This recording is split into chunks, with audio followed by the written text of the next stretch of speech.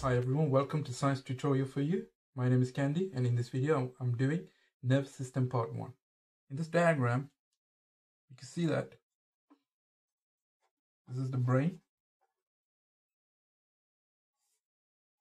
The brain is connected to the spinal cord.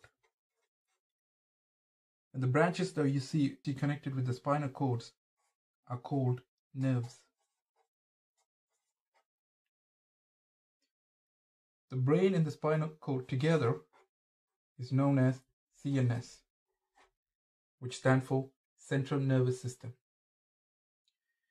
The nervous system contains five sense organs. And these are eyes, nose, skin, tongue, and the last one is the ears. All the sense organ have something on their surface, a group of cells, which are very important. And it's called a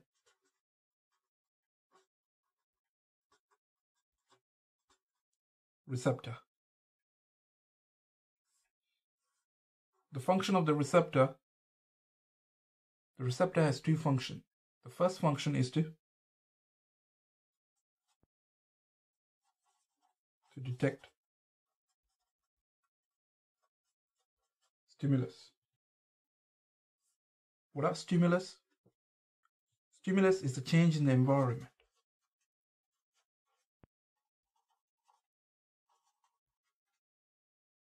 Example of change in the environment could be light, sound, heat, any of these. Now the second function of the receptor is to convert stimulus into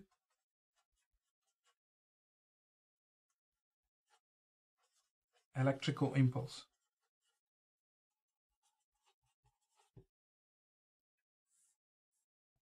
Why electrical impulse? Once they are changed into an electrical impulse, they can be carried by the nerve cells. When you were in Key Stage 3, it's alright to call it nerve cells, but since you're in GCSE now, it's better to call them, and the actual name for them is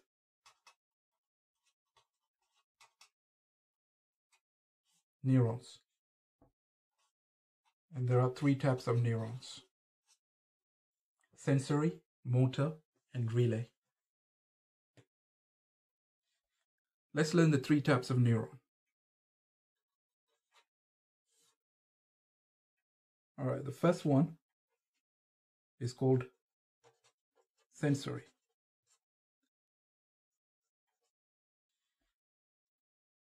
Sensory carry electrical impulse from the receptor to the CNS, central nervous system. The second neuron, motor neuron. The motor neuron carry electrical impulse from the CNS to the effector. What are effectors? Effectors are either gland or muscles. So motor neuron carry electrical impulse from the central nervous system to the gland or muscle. The gland will start to produce hormones and the muscle will cause movement. Which is the relay.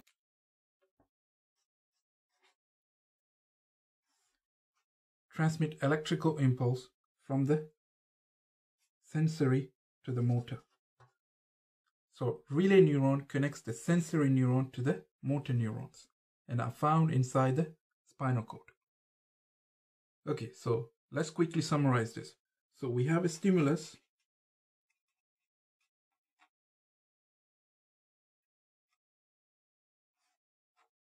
which is detected by the receptor. The receptor is carried by the sensory neuron, which is then the sensory neuron is connected by the relay neuron. The relay neuron is connected to the motor neuron and the motor neuron takes it to the effector and the effector causes response. Response could be a release of hormones or movement. In my second part of the video, I will be covering reflex arc and synapses.